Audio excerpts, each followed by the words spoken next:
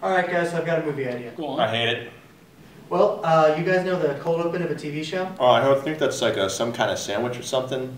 No, it's a cold cut. No, that's absolutely wrong. A cold open is usually the first couple minutes of a TV show, and usually they introduce these generic stock characters like the uh, bitchy cheerleader or the innocent wallflower, and they just get killed off right away. It's just a cheap way to get the audience's attention. So my movie, How to Survive a Cold Open, would be about these characters uh, talking about their experiences. So this is about people who survive on-set No, accidents. no, no, no. It's the fictional characters talking about what they went through. So wait, is, this is about actors who. No, no, no, no. Forget actors. Just there's no such thing as actors. It's the fictional characters talking about how they survived.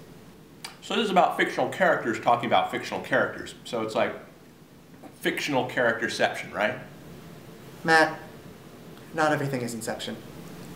I like that movie. And so basically, you'll hear these characters, you hear them talking about how they survived, and you'll also cut to clips of the cold opens, like the supernatural thriller, or the high school horror comedy, or the Law and Order ripoff number 2758.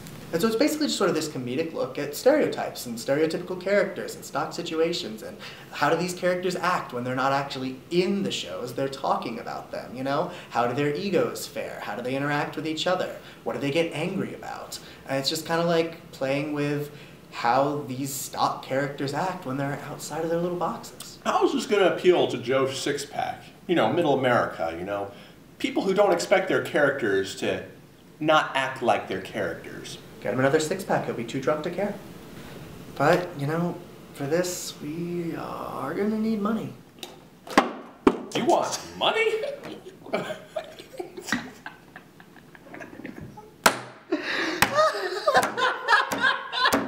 wants money. Matt, you're the producer. So- so that, that means I get to direct it, right? No, right? that's what a director does. Are you hungry? Do you need, do you need a cold cut sandwich? You know, I could really go for a cold cut sandwich right now.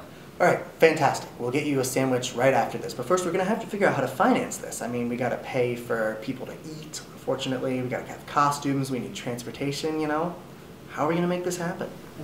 Maybe you could get other people to fund it for you. Yeah, I, I, I, believe homeless people do that as I don't see it as a terrible idea. I mean, if some willing person watching this video maybe would like to donate us some money to make this film, there could definitely be something in it for them.